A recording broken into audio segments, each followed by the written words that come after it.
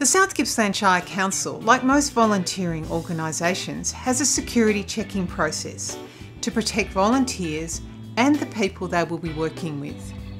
Typically, we will ask you to undergo a police check as part of the volunteer security process.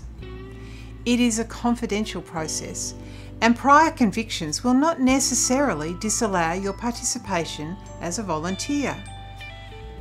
For volunteer roles that involve working with children, you will also need to undergo a Working with Children check.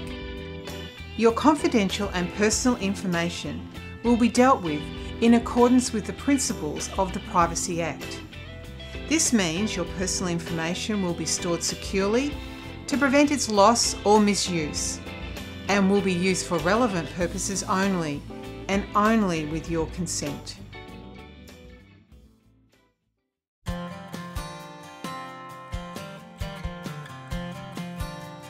We have many opportunities for you to learn new skills, gain valuable experience in a wide range of areas.